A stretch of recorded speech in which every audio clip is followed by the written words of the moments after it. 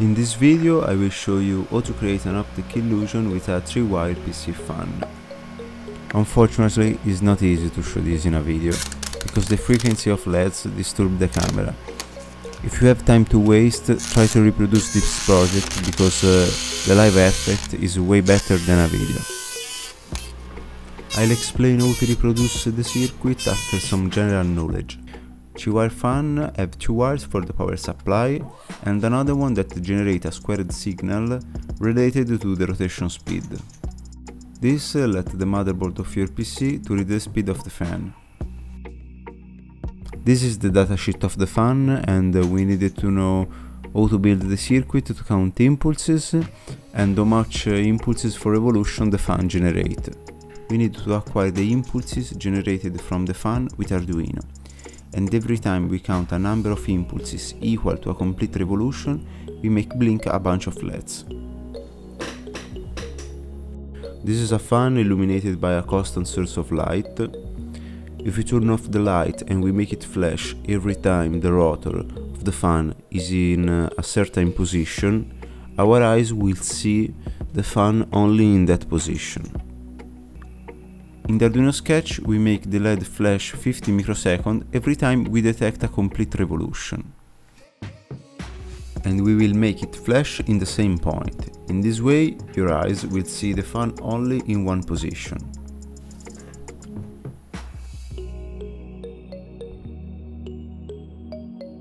But we can do more. If we make the flash duration longer, it's possible to increase the motion blur of the blades.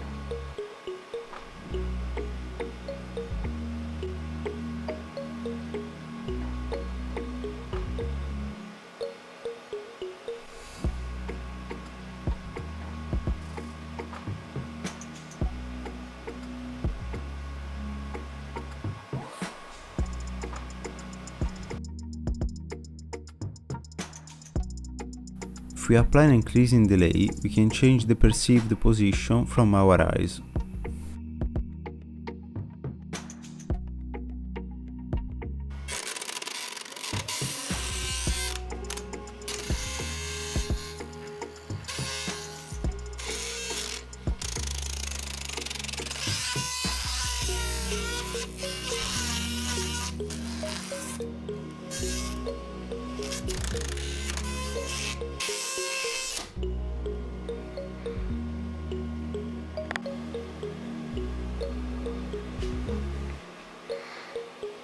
This effect works when the object is illuminated only by the synchronized source of light.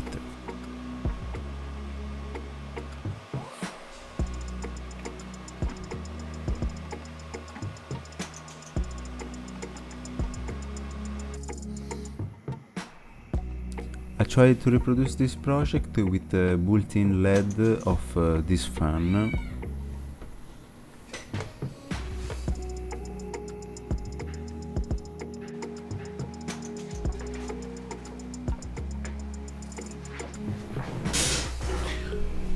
Unfortunately, the power of the built-in LEDs are not enough to make a good effect and uh, bigger fans uh, spin slower than little ones that uh, make the effect very bad.